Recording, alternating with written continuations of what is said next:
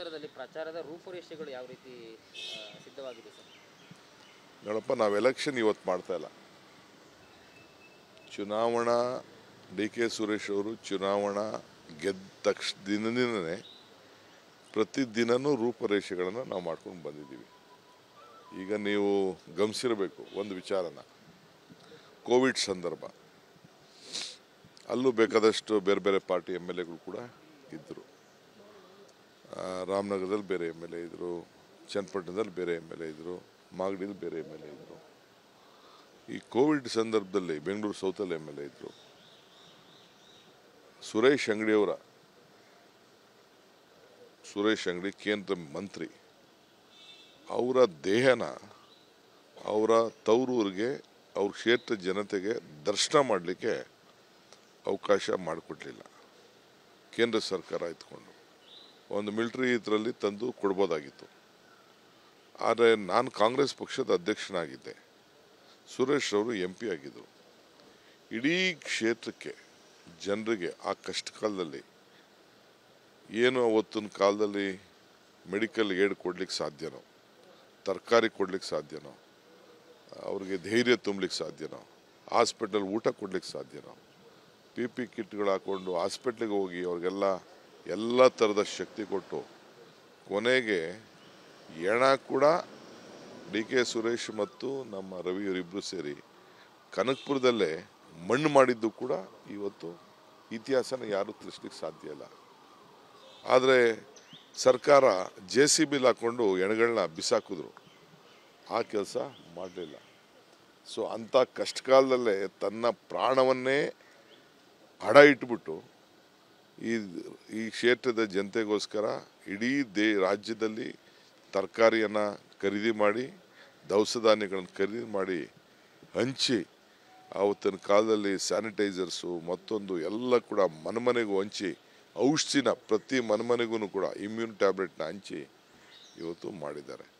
ಇದು ಎಲೆಕ್ಷನ್ ಮಾಡಿದ್ದಲ್ಲ, ಇದು ಮಾನವೀಯತೆಯಿಂದ. ಪ್ರತಿ ಸಂದರ್ಭದಲ್ಲೂ ಕೂಡ ಪ್ರತಿ ಹಳ್ಳಿ, ಯಾವ್ದಾದ್ರು ಒಂದು ಹಳ್ಳಿ ಸುರೇಶ್ ಹೋಗಲಿಲ್ಲ ಅಂತ ಕೇಳಿ. ಅವರು ಪಾರ್ಲಿಮೆಂಟ್ ಮೆಂಬರ್ ಅಂತ ಕೆಲಸ ಮಾಡಲಿಲ್ಲ. ಒಬ್ಬ ಪಂಚಾಯತಿ ಮೆಂಬರು, ಒಬ್ಬ ಕಾರ್ಪೊರೇಟ್ರು, ಒಬ್ಬ ಕೌನ್ಸಿಲರು ಅನ್ನೋ ದೃಷ್ಟಿಯಿಂದ ಮಾಡಿದ್ದಾರೆ.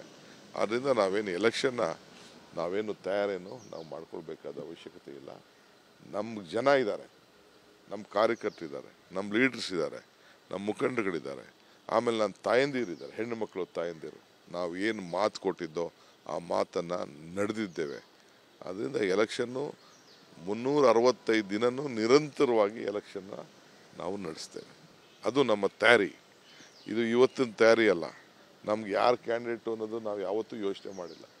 ಎಲ್ಲರ ಮೇಲೂ ನಾನು ನಿಂತಿದ್ದೀನಿ. ದೇವೇಗೌಡರ ಮೇಲೆ ನಾನು ನಿಂತಿದ್ದೀನಿ. ಕುಮಾರಸ್ವಾಮಿ ಮೇಲೆ ನಿಂತಿದ್ದೀನಿ. ದೇವೇಗೌಡರ ಮೇಲೆ ಸೋತಿದ್ದೀನಿ. ಕುಮಾರ್ ದೇವೇಗೌಡರನ್ನ ಬೇರೆಯವ್ರು ನಿಲ್ಲಿಸ್ಬಿಟ್ಟು ಗೆಲ್, ನಾವು ಗೆಲ್ಸಿದ್ದೀವಿ. ಕುಮಾರಸ್ವಾಮಿ ನನ್ನ ಮೇಲೆ ಸೋತಿದ್ದಾರೆ. ನನ್ನ ತಮ್ಮ ಇದೇ ರೀತಿ ಇಂಡಿಪೆಂಡೆಂಟ್ ಒಂದೇ ಕ್ಯಾಂಡಿಡೇಟ್ ಹಾಕಿದ್ರು. ನಾನು ಮಂತ್ರಿ ಇರಲಿಲ್ಲ. ನಾನು ಮಂತ್ರಿ ಮಾಡಿರಲಿಲ್ಲ ನನ್ನನ್ನು ಸಿದ್ದರಾಮಯ್ಯನವರು.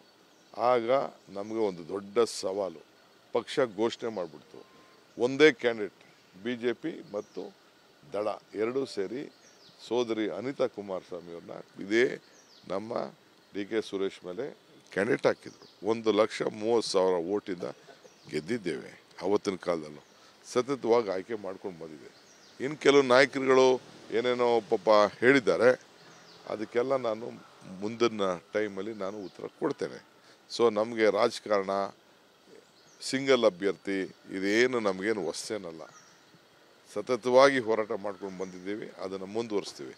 ಇದು ನನ್ನ ವೈಯಕ್ತಿಕವಾದ ವಿಚಾರ ಅಲ್ಲ. ಇದು ಕಾಂಗ್ರೆಸ್ ಪಕ್ಷ ಮತ್ತು ಸಿದ್ಧಾಂತ.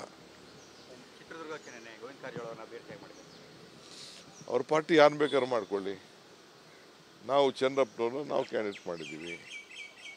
ಅವರು ಸ್ಟೇಟ್ ಲೀಡರ್ ಅಂತ ಕರ್ಕೊಂಡ್ಬಂದು ನಿಲ್ಲಿಸಿದ್ದಾರೆ. ಅನುಕ್ಷಣದ ಸುದ್ದಿಗಳಿಗಾಗಿ Vistara news YouTube channel subscribe ಮಾಡಿ. ಹೊಸ ಸುದ್ದಿಗಳ ನೋಟಿಫಿಕೇಶನ್ಗಾಗಿ ಬೆಲ್ ಐಕಾನ್ ಕ್ಲಿಕ್ ಮಾಡಿ. Latest ಅಪ್ಡೇಟ್ಸ್ಗಾಗಿ W W W dot Vistara news dot com ವೆಬ್ಸೈಟ್ಗೆ ವಿಸಿಟ್ ಮಾಡಿ. ಅಂಗೈಯಲ್ಲೇ ಜಗತ್ತಿನ ಸುದ್ದಿ ತಿಳಿಯಲು Vistara news Kannada app download ಮಾಡಿ.